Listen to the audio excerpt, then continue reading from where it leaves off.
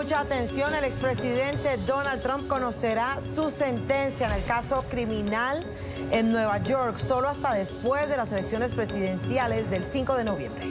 El magistrado Juan Manuel Merchan acaba de resolver la moción planteada por la defensa de Trump que busca el nuevo aplazamiento en la fecha prevista para la sentencia por el juicio que encontró culpable al republicano de 34 delitos criminales. Alejandro Rincón con la noticia. Muy buenas tardes, Alejandro. Buena tarde a todos quienes nos acompañan a esta altura de la jornada en las que los ponemos al tanto de esta importantísima decisión de carácter judicial que acaba de darse solo hace unos minutos en la Corte Criminal de Manhattan. La decisión definitiva del juez Juan Manuel Merchana es la de dar un aplazamiento adicional a la fecha de sentencia que en principio estaba prevista para el próximo 18 de septiembre, de manera tal que es justamente una victoria en naturaleza judicial, pues la que se apunta a la defensa de Donald Trump que recientemente e insistentemente en su saga de problemas criminales ha de una u otra forma planteado todo tipo de emociones con el objetivo siempre de delatar y de retrasar la celebración de momentos o instancias claves dentro de sus casos en el proceso criminal, específicamente de Nueva York, que es el dar un aplazamiento adicional a esa fecha de, sentencia que no tendría lugar sino hasta después de la celebración de las elecciones presidenciales de los Estados Unidos para previstas para el próximo 5 de noviembre. Esta decisión que les reiteramos acaba de darse solo hace unos minutos en la Corte Criminal de Manhattan, pues tiene lugar luego de que más temprano esta mañana aquí en el segundo circuito de apelaciones de Nueva York, donde nos encontramos ahora, se escucharan los argumentos orales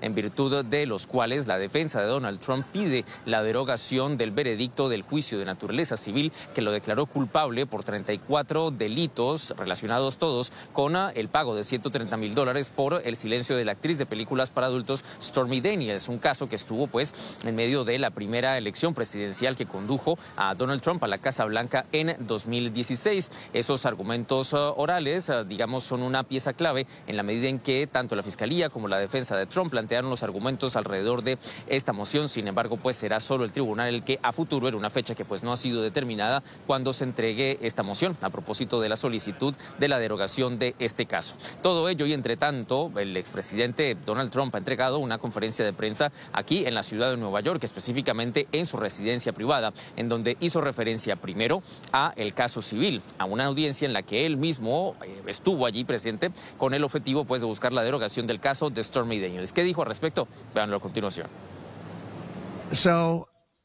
Así que todos estos casos son una desgracia, pero el caso que vimos en el centro de Manhattan, quisiera poder haber mencionado que el vestido, el vestido nuevamente, reitero, ella se robó esa idea de Mónica Lewinsky pero fue negativo.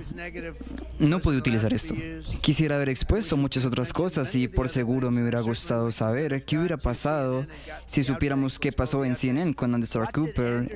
En el comercial me hubiera encantado saber qué pasó ahí en esta entrevista, así que sí estamos ahora. Tenemos un sistema de leyes muy corrupto. Pero en el sistema también tenemos a muy buenos jueces, así que espero que los buenos jueces prevalezcan.